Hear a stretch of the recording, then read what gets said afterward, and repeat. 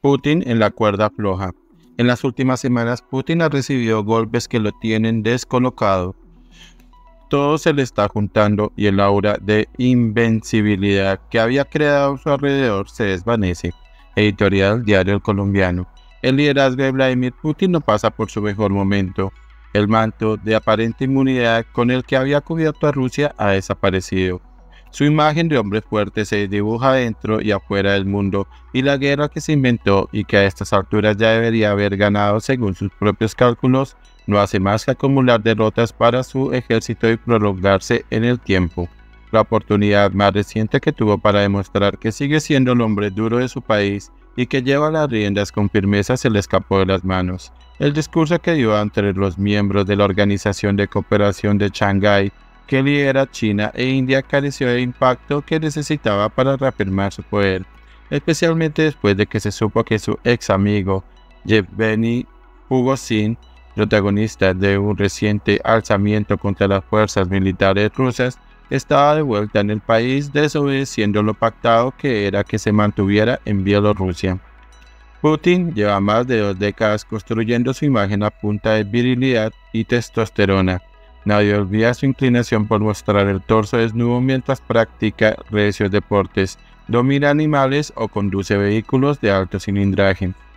Además, no ha desaprovechado momento para mostrarse impacable con aquellos a los que considera enemigos, y como muestra de poder no le ha temblado el pulso para anexionar territorios, caso Crimea, o lanzar al país a invasiones sin que medie provocación como lo estamos viendo y sufriendo en Ucrania. Pero en las últimas semanas ha recibido golpes que lo tienen descolocado.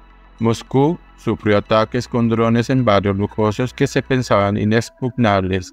El grupo de mercenarios Wagner, en un reto directo a su liderazgo, marchó libremente por el país avanzando por distintas ciudades que no solo no ofrecieron resistencia, sino que en muchos casos sus habitantes salieron a las calles para aplaudirlos y tomarse fotos con ellos en medio del intento de rebelión.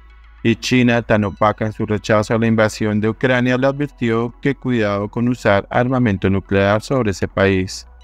Es como si de repente el Putin de esas fotografías estilo Rambo, que están grabadas en la memoria de muchos, estuviera perdiendo todos sus superpoderes y a él se le vieran ahora sus músculos plácidos en unas imágenes lavadas que se van desvaneciendo. Todo se le está juntando a Putin, sabe que no se puede mover del país y salir a hacer diplomacia porque eso es abrirle campo a cualquier intentona de golpe de Estado, de manera que se ha dedicado a comprar alianzas, ha aumentado salarios, ha ampliado el armamento de las diferentes fuerzas de seguridad que lo rodean y está seleccionando casi a dedo los partidarios con los que se reúne, evitando en todo momento cualquier multitud y consciente del manejo que se le ha dado todo tipo de venenos por parte de ciertas agencias estatales, tiene un servicio especial que se asegura de que sus alimentos no estén envenenados, el Centro de Seguridad Biológica. A lo anterior se le suma la paranoia que tiene con el contagio del COVID-19, por la que hace guardar cuarentena a sus más allegados para que puedan reunirse con él. Relajarse es un acto al que difícilmente puede aspirar Putin en estos momentos. Hace unos días la revista Newsweek les daba eco a los rumores de una posible guerra civil en Rusia o a una probable desintegración del país en un mundo posterior a Putin. Esta idea preocupa a los líderes mundiales, pero algunas figuras de la oposición que buscan derrocar al Kremlin la defienden como necesaria. Para muchos rusos, Putin ha cumplido su ciclo. Están convencidos de que el gobierno no ha hecho más que acumular fracasos y sacrificar a las tropas de manera innecesaria. Existen datos que demuestran ese cansancio de la gente. Tras Moscú le sigue siendo fiel a Putin San Petersburgo, donde están sus raíces, no.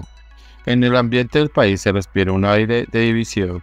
Nada de lo que está ocurriendo hace parte de las promesas que les hizo y la gente, al fin y al cabo, allá o aquí, solo busca vivir con tranquilidad. El poder de Putin se tambalea, lo que no significa que esté fuera de juego ni mucho menos pero para un hombre que durante 23 años ha reinado sobre 145 millones de habitantes sintiendo la veneración, saborear ahora la derrota y paladear la traición, ha comenzado a debilitar su pulso.